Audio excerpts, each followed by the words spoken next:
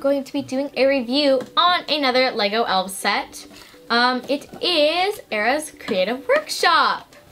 Here's the box really quick. This was not an expensive um, set, by the way, um, but it's so cool. Like, it wasn't that expensive at all, and it is, like, these sets are so awesome.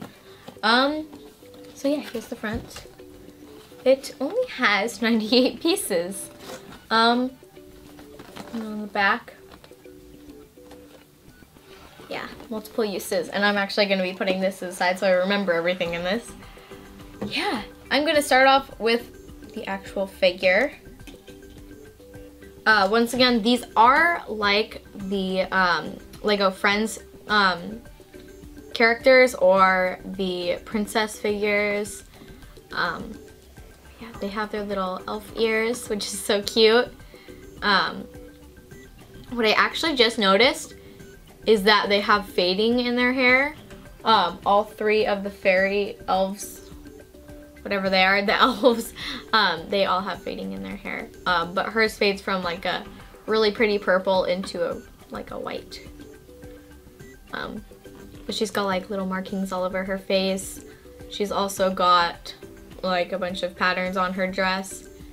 Yeah, she's cute. She's cute. Um, I'm gonna start off with this little bird stand right here. Um, her bird is really cute. It's like all the little animals in this are so adorable. Um, but what's really cool is in the back, you can see there's this thing right here. When you push it out, a little like cookie comes out. Um, so it's like a little secret, but it's like you could be baking it and like push it through for the little uh, the little bird. Um, but yeah, it's cute. She has also a little pair of wings right here, like, cause you know birds. Her, I'm guessing her element is like air or something, cause of course her name is Aira and it has the word air in it. So, um, but there's also a letter right here. So I'm guessing this bird is like a delivery bird, kind of like in Harry Potter where the owls delivered letters and stuff, which was really cool. And so I don't know. That's what I would guess. So it's cute.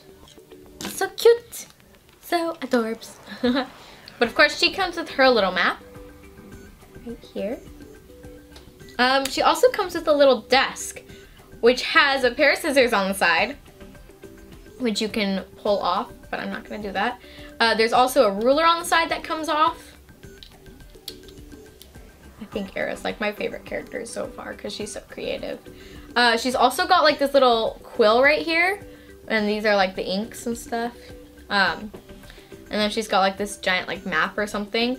Uh, but then these drawers come out and there's like extra ink back here, which is cool. Um, but then she's also got this little seat. Um, yeah, it could be, it can be for her wings. You can set like, how does it go again? Let's see. And it goes like that.